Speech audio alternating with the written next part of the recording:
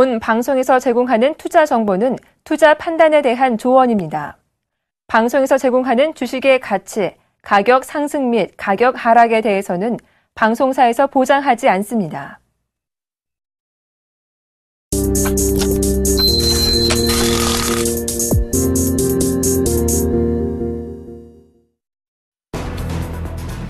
뉴욕 증시가 하락 마감했습니다. 바이오주와 기술주 급락세가 되살아나면서 나스닥 종합지수는 2011년 이후 가장 큰 폭으로 떨어졌습니다.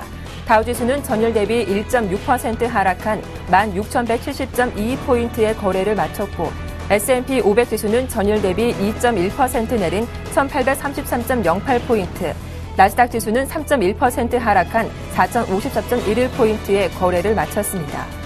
오전부터 다이오주와 기술주 약세가 이어지면서 나스닥 관련 ETF는 모두 5% 넘게 내렸습니다.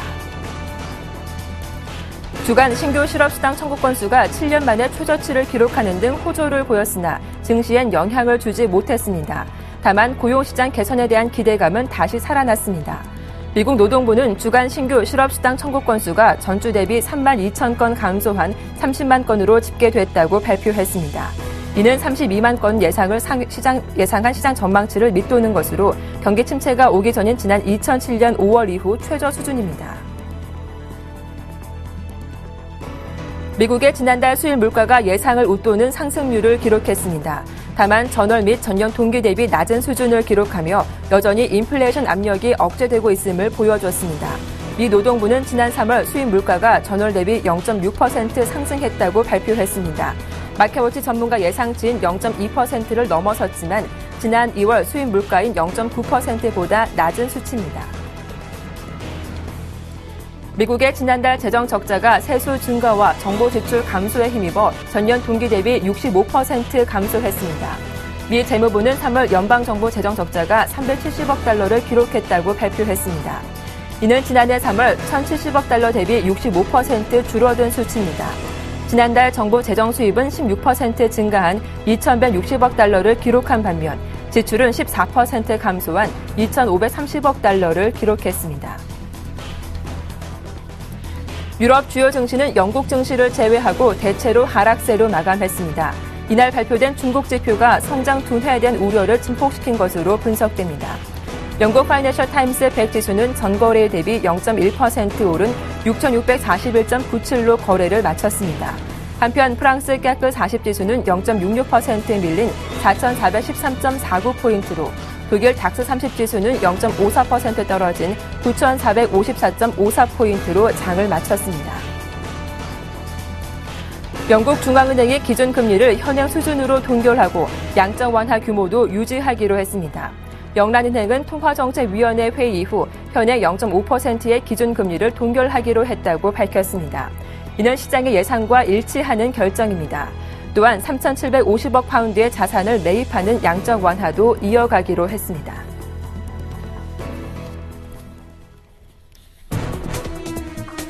안녕하세요. 출발 증시 와이드 박미라입니다. 간밤 뉴욕 증시가 사흘 만에 하락했습니다. 무엇보다 바이오주와 기술주가 급락하면서 나스닥 지수가 3년 내 최대 낙폭을 기록하기도 했는데요. 대표적인 비관 논자인 마크 파버는 블랙 먼데이보다 더 심각한 사태가 올 수 있다고 경고하기도 했는데요. 기술주에 대한 고평가 우려에 1분기 실적 부진한 전망이 악재로 작용했습니다. 하지만 이와 다르게 어제 우리 시장 분위기는 좋았습니다. 연초 고전을 많지 못했던 코스피 지수가 마침내 2,000포인트 위에서 종가를 형성하기도 했죠. 글로벌 자금 이 선지시장에서 신흥시장으로 이동하며 외국인의 순매수가 12거래 연속 이어진 덕분이었습니다. 원화 강세도 지속됐죠. 장중 한때 1,032원까지 밀리기도 했지만 이주 송재 구두 개입에 1,040원대는 회복하며 마감하는 모습을 보였는데요. 한 주를 마감하는 금요장인데 뉴욕 증시 급락을 우리 시장은 어떻게 반영을 할까요? 출발 증시 와이드 1부 시작하겠습니다.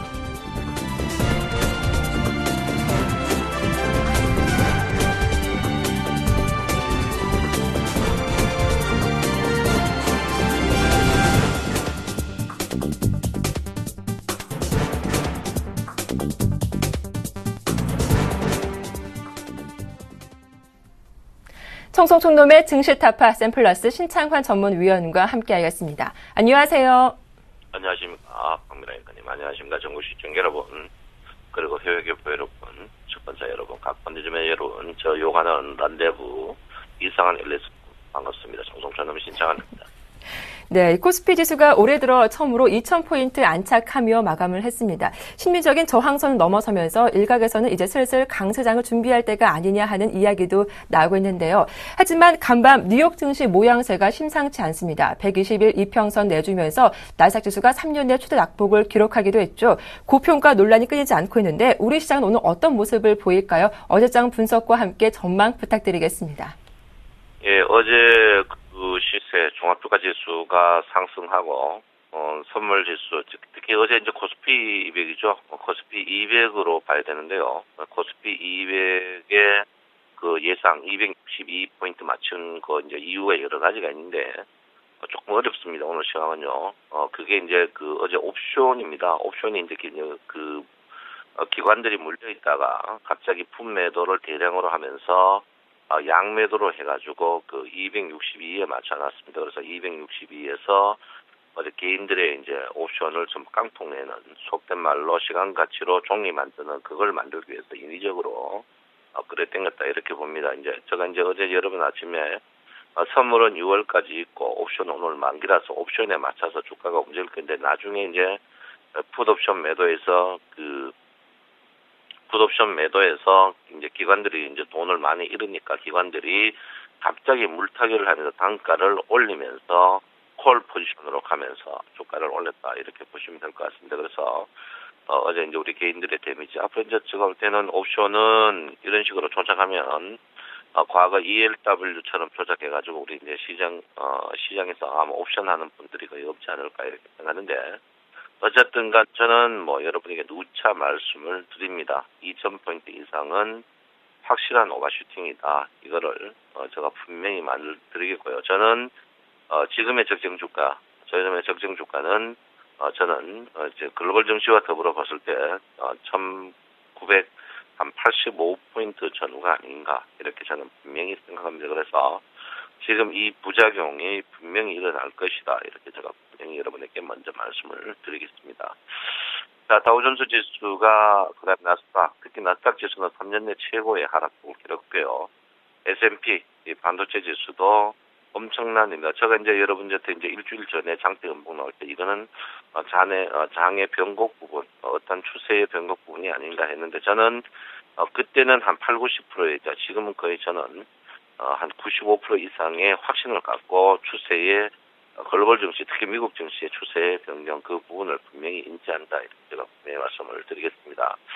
어제까지 이제 옵션 영향 때문에, 어제부터 옵션 영향 때문에 우리나라 증시가 이제 왜곡된 그런 부분이 있습니다만 오늘부터는 쉽지 않을 것이다. 이렇게 저는 생각하고 있고요. 어쨌든 간 여러분께서, 어, 제가 누차 여러분에게 말씀드리지만 몸조리를 분명히 하는 어, 어제부터 이제 제가 여러분한테 계속 어, 몸조리를 하라고 했습니다. 몸조리를 하랬는데 몸조리를 어, 못했다면은 몸조리를 오늘부터 하는 것도 좀 괜찮지 않을까 이렇게 저는 생각을 하고 있습니다. 그래서 아무쪼록 몸조리를 확실하게 하는 그런 마인드를 조금 가지시는 것도 좋다 이렇게 제가 분명히 여러분에게 말씀을 드리겠습니다. 자, 일단 뭐, 이평은 뭐, 크게 볼 것도 없습니다. 이평 자체는 여러분 아시다시피 지금 60일 이평하고 캔들 차트 이게 굉장히 큰 부분, 이제 이게 이제 문제가 되는 그런 부분이 아닌가 이렇게 생각하고 있고요. 전체적으로 지금 120일 이평이 꺾이고 있습니다. 아, 120일 이평이 꺾인다는 말은 뭐냐면 60일 이평이 항시 120일 이평 위쪽에서 있을 때 힘들지 120일 이평이 궁극적으로 두 달 정도 꺾이거든요. 어, 이 말은 뭐냐면 어, 저는 이제 굉장히 고민을 많이 했습니다. 60일 평이 상승할 때, 120일 평 밑에서 받침을 댈때그 주가가 상승을 하지. 지금처럼 이렇게 이제 이 앞부분입니다. 이런 부분이죠. 이런 부분인데 지금은 보시면은, 어, 121일 평 계속 떨어지면서 61일 평 상승하는 이 부분은 주가 자체가 가더라도, 어, 지금 자리가 굉장히 고점 자리가 아닌가. 이렇게 저는 분명히 보고 있습니다. 그래서 여러분들께서 저 시황이 맞다고 생각하시는 분은 현금화에 적극적으로 줄여가는 게 현명하다 이렇게 제가 한 번 더 말씀을 드리겠고요. 뭐 저 시황이 안 맞다 하는 분은 저 반대로 하면 어, 대박 나지 않을까 이렇게 저는 분명히 생각을 하고 있습니다. 어쨌든간 지금 장소에서 여러분 보다시피 분명히 변곡이고요. 지금 자리에서 어, 살얼음판으로 이제 들어섰습니다. 일목견주의 구름 자체가 살얼음판으로 들어섰는 부분이고 오늘부터 신고가를 내지 못하면 선행스팬 1, 2와 전환선 기준선 몽땅 모든 4개의 계산들이 횡보국민을 맞이하게 되어 있습니다. 거기에다가 횡보국민일 때 보통 전환선과 기준선의 폭이 두껍다면은 어, 제가 볼 때는 주가 자체는 어, 서서히 조금 횡보 국면 이하 또는 쉬어가는 국면이 아닌가. 그 원래 주가가 4일 전에 4일 전에 전환선을 깼을 때 하락 추세인데 그날 인위적으로 저 옵션 영향으로 이거 주가에 끄집어 올렸는데 이제 그 그런 부분이 좀 되지 않지 않을까 이렇게 저는 생각하고 있습니다. 어, 누차 말씀드리지만 원화의 강세, 원화의 강세는 수출업체들 어제 이제 주가가 어, 굉장히 이제 최근에 이제 외국인들이 비차익 수 매수차의 프로그램 매수로 엄청나게 땡겼지만 그 중에도 수출업체들은 굉장히 직격탄을 맞았습니다. 직격탄을 맞으니까 이제 땡길 것니까 엉뚱하 땡기는데 원화가 1,040원, 원화의 1,040원은 1,050원 이하는 굉장히 힘들어지는 그런 부분이다 이렇게 보고요.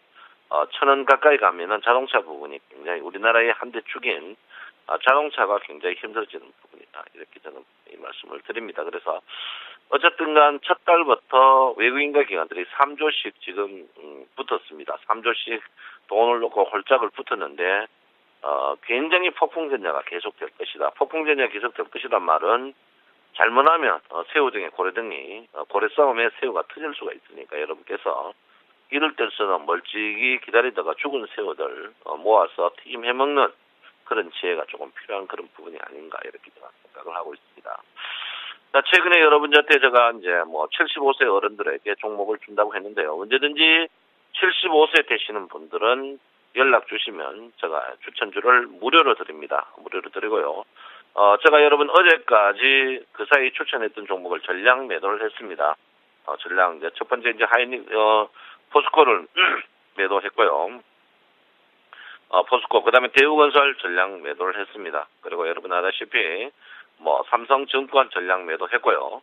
어, 삼성증권 전량 매도했습니다. 그리고 뭐 추천주를 별로 주지 않았습니다만은 최근에 이제 수익을 보고 어, 전량 매도했습니다. 그러니까 여러분 일단 어, 추천주가 필요하신 분들은 저에게 연락 주시면 특히 75세 이상은 제가 무료로 드린다 이렇게 제가 분명히 말씀드리겠고요. 주가가 약세 보일 때 어, 상승할 수 있는 종목을 지금 매집하고 있으니까 연락 주시면 특히 75세 이상은 제가 무료로 드린다 이렇게 제가 분명히 말씀드리니까 어른들 저에게 전화 주시거나 전화번호 모르시는 분들은 어, 서울 센티비에 전화 주시면 된다 이렇게 봅니다. 그리고 LG전자도 전량 매도를 했습니다. 그래서 여러분에게 다섯 종목 추천했는데요. 거의 다 큰 폭의 수익이 난 것 같아요. 하여튼 여러분의 홍목이 아닌가 이렇게 생각하고요. 돈을 한번 먹은 다음에는 기본적으로 어, 한 달 정도 쉬는 것도 좋다. 이렇게 제가 분명히 말씀을 드리겠습니다. 자, 선물이 어제 이제 200 여러분 보다시피 굉장히 높은 지수까지 올라갔죠. 어, 선물이 어제 여러분 보다시피 205, 64까지 갔습니다. 아, 평균 가격에서 거의 어, 여러분 한 7 정도, 6, 7 정도 뜨는 그런 뭐 평균 가격이 지금 이 자리에 있거든요. 268에 있습니다. 그래서 여러분 어쨌든 간 지금 자리에 있습니다. 오늘 뭐 전환선 기준에서 아직까지 추세가 어, 주식은 제가 꼭지가 치지만 선물은 계속 제가 이제 추세가 살아있다 했던 이유 중에 하나가 옵션 부분입니다. 옵션 부분 때문에 그런데 지금부터는 선물도 제가 볼 때는 아직까지 뭐 추세가 어, 선물이 죽은 건 아닙니다만 선물도 조금 어, 조심할 필요 있는 그런 부분이다. 아, 이렇게 제가 분명히 말씀을 드립니다. 아침에 주가가 제가 볼 때는 10포인트 이상 하락기가 시작할 것 같은데요.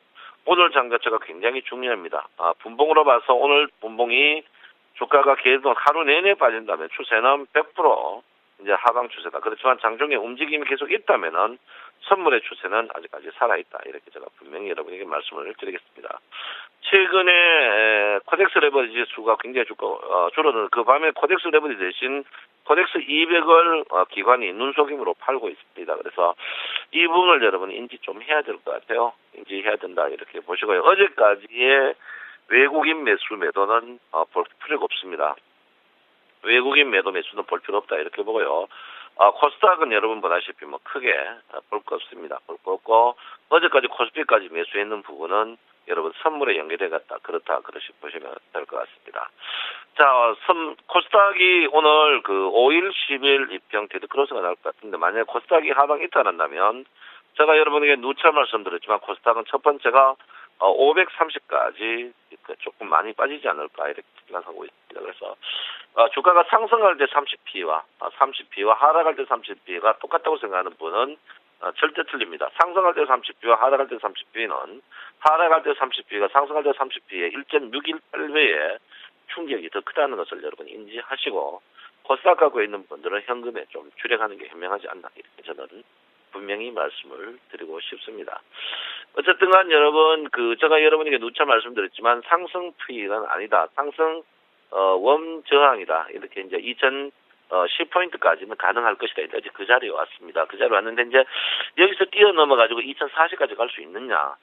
글쎄요, 이건 조금 회의적입니다. 제가 이제 오늘 저녁에 수익을 말하다가 나올 것 같은데 좀 회의적입니다.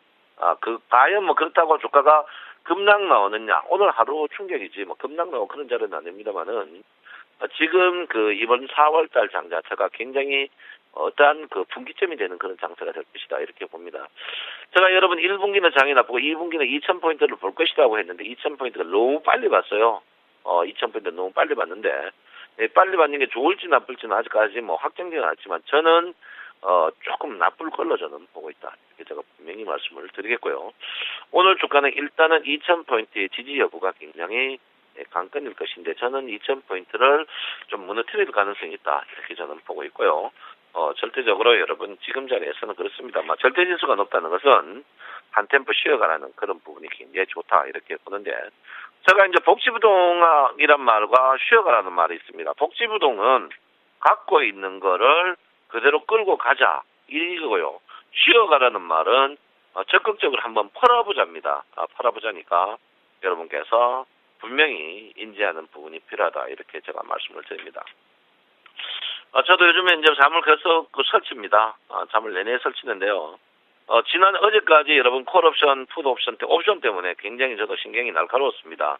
뭐, 콜 것이면 상승 쪽에 것이면 하락적 것인 분, 어, 워낙에 이제 이익의 분배가, 이익이 이제 되니까 뭐 저 한마디가 시장에 영향을 끼치겠습니까만은 저 한마디 때문에 뭐 희비가 끌린다는 사람도 있기 때문에 저도 굉장히 이제, 어, 신중하고 있는데, 어쨌든 지금 선물도 마찬가지입니다. 선물은 어, 외국인과 기관, 어, 외국인과 기관이다. 막 예를 들어서 개인이 기관과 같이 같은 방향이라면 제가 뭐 당연히 손이 안으로 걷듯이 우리 개인 우리 개인 편을 드는데 어, 개인과 기관이 따르게 놀아버리면 제가 시황하기가 굉장히 힘들어집니다. 솔직히 저는 개인 편인데 기관들이 또 이런 고점에서 매도를 쳐놨다는 말은 뭡니까? 굉장히 기관이 유리하는 쪽이죠. 정말 무슨 짓인지 알 겁니다. 그래서 우리 신계 여러분들, 특히 우리 센시증 여러분들은 큰 문맥을 조금 읽었으면 좋겠어요. 문맥을. 어, 문맥. 제가 최근 그 한 일주일 동안 저답지 않게 어정쩡한 시황을 했습니다. 왜 그러냐면 종합주가 지수는 상승하고 선물은 빠지고 또 선물 있으면 종합주가 빠지고 이거 저는 내용을 뻔히 알죠. 왜 그렇습니까? 옵션 때문에 그렇거든요. 그 소수 옵션 때문에 전체 시황을 깨뜨릴 수가 없었습니다. 그래서 옵션이 이제 끝났으니까 정확한 시황을 가는데 오늘은 분명히 제가 여러분에게 말씀을 드립니다. 쉬어가자 이렇게 보시고요. 우리 개인들은 옵션에서 돈 못 먹습니다. 어, 여러분 뭐 옵션 하시는 분들 어제 소주 한 잔 했을 것 같은데요. 어, 절대 여러분 옵션 하지 마십시오. ELW가 조작하듯이 옵션도 지금 시장에서 여러분을 조작해가 여러분 돈을 뺏으려고 눈 빨갛게 설치고 있습니다. 기관 펀드 매니저들 눈을 한번 보십시오. 전부 미생에 나오는 어, 과장처럼 눈이 빨갛습니다. 왜? 누에 빨갛냐? 우리 개인들의 돈을 등쳐먹기 위해서 빨가니까 절대적으로 여러분 하지 마십시오. 제가 볼 때는 우리가 ELW도 그렇고 요즘에 옵션도 그렇고 요즘 유행하는 단어가 있죠. 철수하는 어, 그런 우리 개인 시청자 있으면 됐다 좋다 이렇게 봅니다. 그래서 쓸데없는 헛소리의 철수가 철수가 아니고 우리는 옵션을 쳐다보지도 마십시오. 우리에게 불나방한 거다 이렇게 제가 누차 여러분에게 말씀을 드리겠습니다. 자, 일목균형주 코스닥이 뭐 제가 볼 때는 아직까지 추세가 죽지 않는 모양인데 한 방에 어, 미국처럼 전환선과 기준선이 뚫어질 수 있습니다. 만약에 한 방에 전환선 기준이 뚫어진다면 적극적으로 추격 매도 하는 데에서 동참해야 된다. 이렇게 제가 분명히 여러분에게 말씀드리겠고요. 어쨌든 간 지금 장세는 뭐 추세가 죽었다. 아직까지 그 논할 자리는 아닙니다. 그렇지만 5일이평과 11일평이 굉장히 근접한 거리에 있다. 이 말은 뭐냐면 한 방에 뚫어버릴 수 있다는 것을 인지하시고 여러분 제가 분명히 말씀드립니다. 쉬어가라는 말은 고점에 한번 매도하는 말이다. 이렇게 제가 분명히 말씀드리겠고요. 75세 이상 어르신들은 분명히 전화 주시면 지금 어, 약세장에도 매집할 수 있는 수익 나는 종목을 분명히 드린다. 그리고 궁금하신 분들도 연락 주시면 종목을 드리겠다. 이렇게 말씀을 드리겠습니다. 여러분, 청송촌님은 여러분 편입니다. 감사합니다. 청송촌님 신정원입니다. 네. 코스피 2000선 위는 오버슈팅이다. 조심하는 구간임은 분명하다라고 하셨는데요. 아, 2000선 지키는 게 힘들기 때문에 한 박자 쉬어가는 게 즉 매도하는 전략이 필요하겠다라는 의견까지 들어봤습니다. 지금까지 샘플러스 신창환 전문위원과 함께했습니다.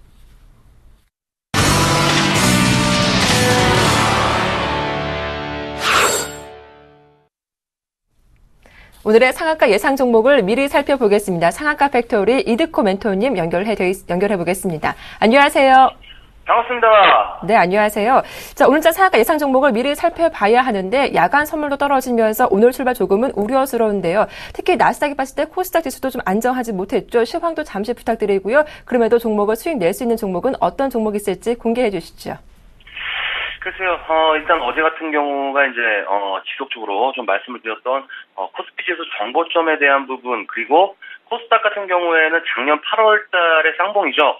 어, 560포인트를 중심으로 해서 맞고 떨어진 이후에 기술적 눌림 부분에서의 반등의 연속성을 가진, 어, 시장이었는데, 최근에 시장에 이런 모습을 보이고 있어요. 그러니까 우리 시청자분들도 좀 느끼시겠지만은, 지금 대형주를 사기에는 상당히 좀 애매한 구간이고, 또 기다리자니 큰 조정이 나올 것 같지도 않으니까 이러지도 못하고 저러지도 못하는 그런 상황이 좀 나오고 있는 것 같은데 그게 이제 어떻게 보면 지금 시장이 그대로 어, 느껴지시는 게 맞을 것 같아요. 그러니까 어, 이런 부분들이 지수를 이제 한번 확인하고 가자라는 어, 심리가 좀 강하게 나오는 구간인데 일단 어제 같은 경우에는 삼전으로 또 종가를 어, 고가로 만들면서 끌어올리는 모습이 나오고 있는데 어, 여러분들이 좀 중요하게 보셔야 할 게 2월 달이죠. 어, 2월 달 1885포인트부터 지수가 어, 상승 쪽으로 방향을 틀 때 거의 대부분 종가가 고가로 끝나거나 시가가 갭으로 뜨는 경우가 지속적으로 좀 나오는 그런 모습이 있었는데 사실 이런 패턴들이 어떻게 보면 이제 개인들을 상당히 헷갈리게 하는 경우이고 일단은 뭐 매수 기회를 어, 안 주는 그런 패턴의 경우 중에 하나인데 일단 과거를 보면은 우리가 알 수 있겠죠. 어, 코스피 지수, 어, 2230포인트, 어, 그러니까 2011년도에 역사적 최고치를 경신할 때, 어, 어떤 패턴이 있었냐면요. 2011년 3월 달에 지수가 마이너스 4.5% 급락이 나왔습니다. 마이너스 4.5%, 마이너스 4.5% 급락이 나왔는데, 이때 무슨 일이 있었냐면, 후쿠시마, 어, 원전 폭발을 하면서 미국, 아, 일본 증시가 폭락을 했었고, 우리 증시가 한4% 가까이 급락을 하면서 엄청난 그런 공포에 휩싸였지만은 결국에는 그 저점 그러니까 1885포인트를 최저점을 해서 우리 증시는 2230포인트까지 어 2230포인트까지 한 번의 눌림으로 급등이 나와줬다는 것이죠. 그렇다면 외국인들이 바라보는 시각이 어 악재를 매수로 기회를 기회로 어 삼았다라고 한 어, 삼으면서 시장을 상방으로 어, 완전히 틀었다는 것인데 일단은 그렇게 상방으로 틀고 지수가 올라갈 때는 앞에서 말씀드린 갭상승 그리고 시가를 고가로 형성을 하면서 상승하는 경향이 지금도 그렇고 과거에도 그런 패턴의 어, 상승했던 그런 학습 효과가 있기 때문에 이번에도 다우 지수가 급락은 했지만은 어떤 악재를 빌미로 해서 지수가 하락한다고 했을 때는 우리 증시는 조금은 다른 문제다. 그리고 개인들을 죽인 이후에 급등할 확률이 상당히 좀 높기 때문에 제가 어제도 말씀을 드렸지만 이번 시장의 싸움은 굉장한 롱런의 싸움이 될 것이다. 그러니까 결국에는 누가 어떤 주식을 들고서 평단가를 낮춰서 장기 보유하냐의 기간과 평단가 싸움이기 때문에 지금 시장에서의 현금화는 포트 교체 현금화가 필요한 부분이지 어떤 손절 손절을 하거나 어, 손절하는 전략은 시장을 따라가지 못할 수 있는 어, 그런 상황을 만드는 것이다. 해서 지금 상승하고 있는 종목들을 이제 어, 따라잡기 좀 부담스럽다고 한다면 대형주들 중에서 가격 메리트가 높고 재료가 살아있는 모멘텀이 있는 종목으로 어, 포트를 구성하면서 롱런, 어, 롱런으로 끌고 나가는 게 현재 시장을 가장 어, 빠르고 정확하게 이해하는 길이 아닌가라고 좀 생각을 하고 있습니다. 해서 어제도 제가 말씀을 드렸지만은 지수 조정은 상승을 하기 위한 당연한 필연적인 조건이라고 이제 어, 조건이라는 것이고 작년 8월에 일단 외국인들이 44거래일 연속 순매수한 금액이 13조 8천억입니다. 13조를 매수해놓고 우리 증시를 들어올리지 않고 빠져나갔다는 흔적이 없다라는 것은 그들의 시각은 지금 어, 더 큰 그림을 그리고 있는 게 아니냐 저는 좀 이렇게 판단하고 있습니다. 해서 제가 왜 오늘 이런 말씀을 드리냐면요. 어제 다우의 급락도 급락이지만은 큰 어떤 어, 조정이 지금부터 좀 나온다라고 한다면 어, 제가 지속적으로 말씀드리지만 일정 부분 현금화는 포트 교체의 의미로 확보는 돼 있어야 된다라고 좀 말씀을 드리겠습니다. 해서 어, 오늘은 제가 앞에서도 좀 말씀을 드렸지만은 포트 교체 시에 어, 이 종목은 한 종목 이, 어, 있어야 될 어, 만한 종목으로 어, 태양광 섹터를 좀 오늘 소, 소개를 좀 해드리도록 하겠고요. 일단은 OCI인데 일단 OCI는 좀 많이 다들 알고 계시는 종목이죠. 어, 최근에 태양광 섹터들의 업황이 서서히 좀 개선이 되고 있는 모습들이 포착이 되고 있습니다.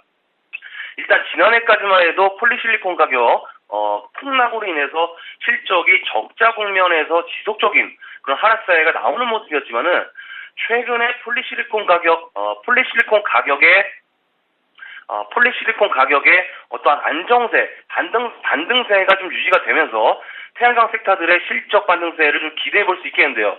일단 OCI 같은 경우에는 1분기 실적이 한 120억 정도 좀 예상이 되는데 어떤 스팟 가격 어, 상승 전가에 따른 계약 가격의 상승이라는 것이죠. 그러니까 평균 단가가 전분기 대비해서 소폭 상승할 것으로 좀 판단이 되고 있기 때문에 그에 따른 폴리실리콘 부분 어, 적자 폭이 감소할 가능성이 높다라고 좀 판단하고 있고요. 그리고 중요한 게 이제 한 4월 달 정도가 되고 있는데 날씨가 상당히 좀 덥죠. 어, 일교차도 상당히 큰데 일단 기온이 20도가 넘는 이상 기후가 지속적으로 나오고 있는데 이런 날씨가 지속되면 될수록 전기 수요하고는 비례할 가능성이 여름으로 갈수록 높다는 것이죠. 그러니까 작년에는 우리가 블랙아웃으로 상당히 좀 곤욕, 을 치렀습니다. 공공기관을 비롯해서 각 기업들까지 어, 전기 전략에 어, 절약에 좀 희석던 좀 그런 기억이 있었는데 이런 것들이 어떻게 보면 태양광 업황에는 어, 모멘텀으로 어, 생기는 것이라고 좀 볼 수 있겠죠. 그래서 OCI 같은 경우에는 일단 작년 여름의 주가도 상당히 어느 정도 탄력을 받으면서 움직이는 것들이 있었는데 이제부터 서서히 업황적으로나 지금 여름 관련 모멘텀을 어, 준비하, 준비하는 것도 나쁘지 않다.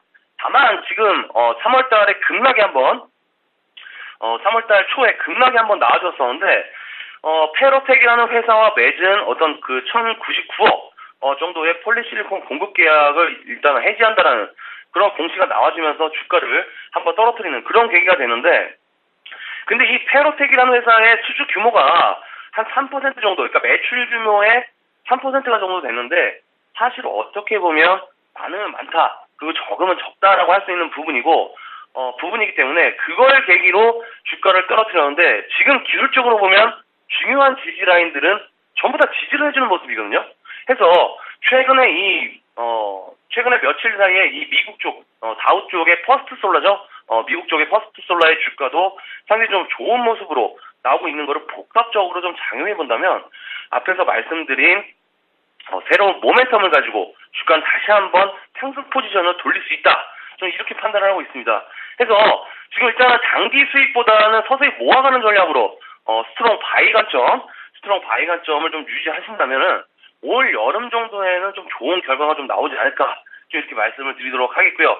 일단 매수가를 17,800, 아, 17만 8천 원 정도까지 열어두시고 서서히 모아가는 전략으로 좀 말씀을 드리겠고요. 그리고 목표가를 한 단기 한 19만 원 정도, 중기적으로 한 24만 원 정도, 그리고 손절가를 어, 전접점 이탈이죠. 17만 2천 원 정도 어, 말씀을 드리면서 오늘 하락장, 어, 오늘 하락장에 이 종목은 관심을 둬야 된다라고 좀 말씀을 드리면서 정리를 해드리도록 하겠습니다. 오늘 상한가 팩트는 여기까지입니다. 고맙습니다. 요즘 시장에서 손절하는 것보다는 이 포트를 교체하는 쪽으로 대응해보자라고 하셨죠. 쉽게 따라가기도 쉽지 않은 장이지만 낙폭이 큰 종목들 이번 기회에 매수해보는 전략도 괜찮겠다라는 말씀 들어봤습니다. 오늘장 상한가 예상 종목은 OCI였습니다. 간밤 야간 선물은 0.7% 정도 하락을 했죠. 오늘 약세 출발이 불가피할 텐데 어느 정도 낙폭을 줄이게 될지 끝까지 살펴보시길 바라겠습니다. 출발 증시와이드 1부는 여기서 마치겠습니다. 저는 잠시 후 2부로 다시 인사드릴게요. 고맙습니다. Bye.